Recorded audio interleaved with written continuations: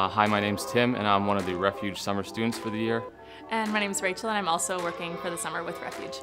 Uh, so my job this summer primarily involves uh, community events, so I specifically focus on uh, kids outings. So we go to things like the pool, the beach, uh, and other outings with the kids from the community.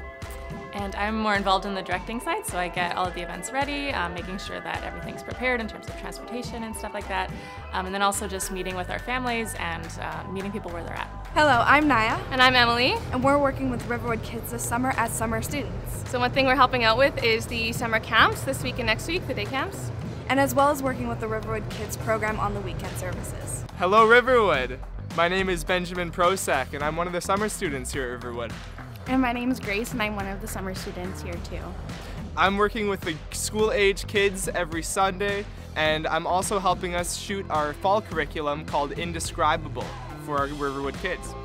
And I'm working with the preschool kids and I also run the social media pages for Riverwood Kids. Hi, I'm Chelsea. And I'm Jamie. And we are the summer students here at the Garage.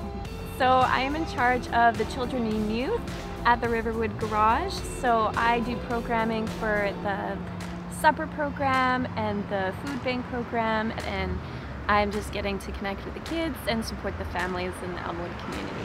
And I am programming all of the summer activities for most uh, everyone else in the garage. And so we get to see them on a weekly basis. They come in for dinners, but now I am building more programs so we can get to know them a little better. We take them out to the farm, we're going to Fort Whyte, we're just doing a bunch of different things just to really support them and love on them this summer. So we are really excited. Mm -hmm.